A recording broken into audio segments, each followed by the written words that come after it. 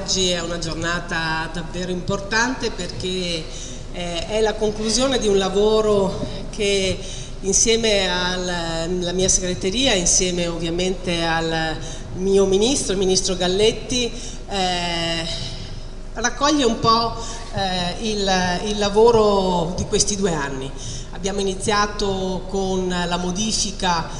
e l'aggiornamento delle linee guida all'educazione ambientale che sono state pubblicate nel nostro sito a fine 2015 e domani si conclude un'altra tappa importante fra il Ministro Galletti e la Ministra Giannini per quanto riguarda la formazione dei formatori e quindi per quanto riguarda il PON istruzione.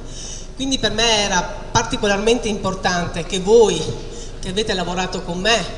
eh, in questi due anni e che soprattutto avete lavorato sul territorio, eh, dando l'esempio con eh, delle eh, perle, le, le, chiamo così, eh, di educazione ambientale, eh, riusciate a, a spiegare eh, a quelli che sono i rapporter dei tavoli eh, quanto di buono viene fatto sul nostro territorio affinché eh, queste bellissime esperienze che vengono fatte a macchia di leopardo eh, diventino invece sistema, diventino rete perché sempre più noi abbiamo la necessità eh, di eh, uniformare quello che di bello viene fatto sul nostro territorio e anche di copiarlo, perché no? Perché se è una cosa bella si deve anche copiare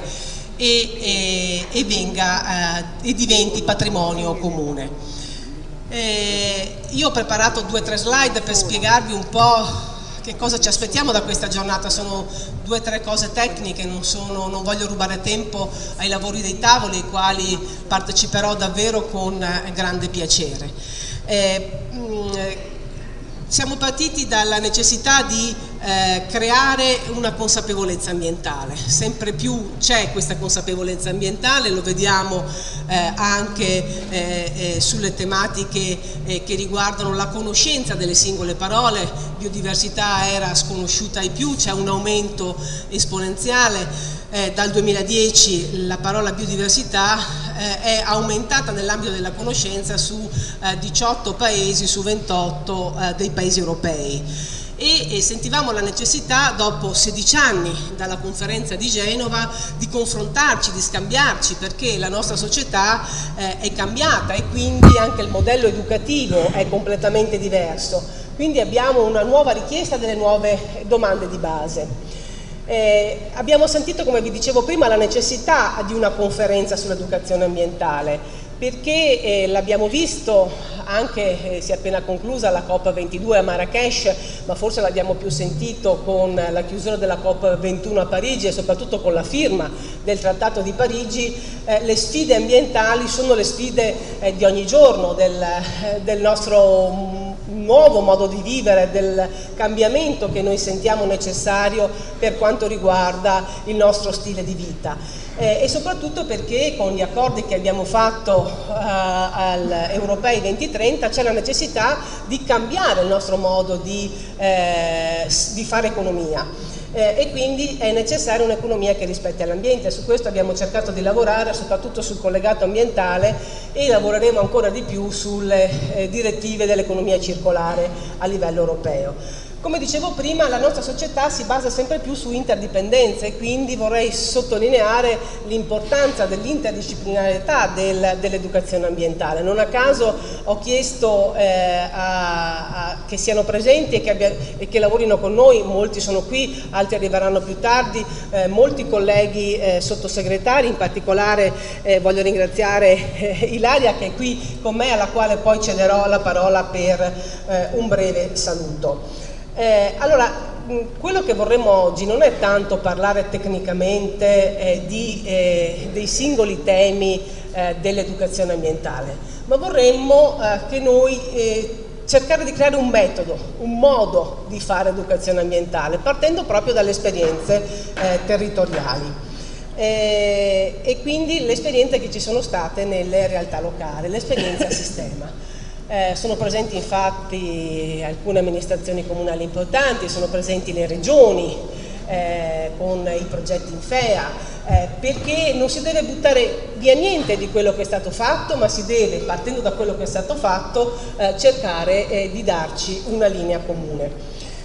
e quindi di darci dei principi guida e delle priorità. Come dicevo sono presenti istituzioni nazionali internazionali, sono presenti imprese, perché non si può prescindere eh, dalle imprese se noi vogliamo creare un nuovo modello di sviluppo, eh, è presente la ricerca, la protezione ambientale, le organizzazioni non governative, le associazioni, le università e l'istruzione, perché noi non avremmo potuto fare questo lavoro se non avessimo lavorato a stretto contatto con il MIUR in particolare, però consapevoli che di educazione ambientale non si può e non si deve parlare solo nelle scuole, ma lo si deve fare anche nell'ambito eh, della società civile, quindi andare a toccare anche attraverso la comunicazione, ringrazio i tanti giornalisti che sono presenti, eh, tutti, tutti eh, coloro eh, che eh, in qualche modo possono influenzare e ehm, aiutarci alla costruzione eh, del nuovo modello educativo. Eh, nel frattempo ringrazio Andrea Oliviero che è qui presente eh, proprio a testimonianza eh, di questa attività continua che facciamo eh, fra eh, colleghi e della interdisciplinarietà della materia ambientale. Ieri abbiamo festeggiato con lui la giornata nazionale dell'albero e delle foreste, anche qui con le scuole e devo dire che in questi anni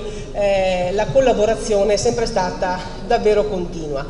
Eh, qui, eh, come vedete in questa officina delle idee, eh, come abbiamo voluto chiamare questa sala, eh, abbiamo scelto 12 tavoli, un po' a significare i 12 mesi, cioè ogni mese eh, abbiamo voluto in qualche modo tematizzare eh, il, il, percorso che voi state facendo al quale eh, eh, vi accingete eh, poi ad entrare nel merito. Quindi i primi sei tavoli, biodiversità, agenda 2030, mobilità sostenibile, società civile, digitale comunicazione, ambiente e salute economia circolare, turismo sostenibile, lotta al cambiamento climatico, città, gestione delle risorse naturali e spreco alimentare. Non è stato semplice collocarvi in un singolo tavolo proprio perché, come vi dicevo prima, la materia è interdisciplinare e quindi molti di voi sono esperti in più tavoli. Se poi vorrete scambiarvi, ovviamente noi su questo eh, eh saremo ovviamente d'accordo. Eh, è stata una divisione più eh, di tipo organizzativo che non eh,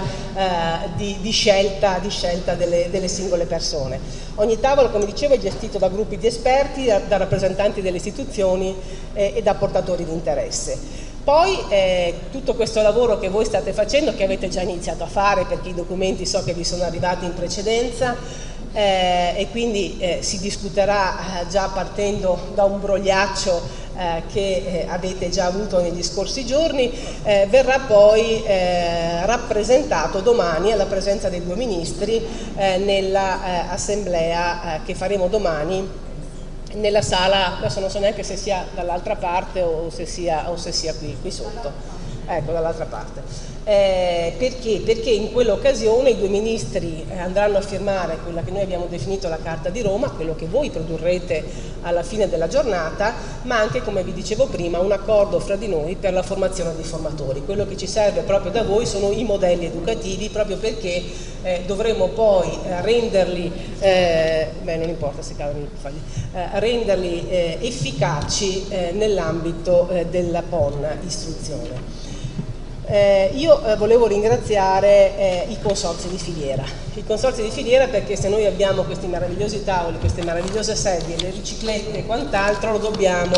eh, ai, eh, ai, consorzi di filiera che devo dire che eh, nell'ambito dell'educazione ambientale hanno svolto sul territorio un'opera meritoria e di grande sensibilizzazione per la, var la varia progettualità che fanno a livello scolastico.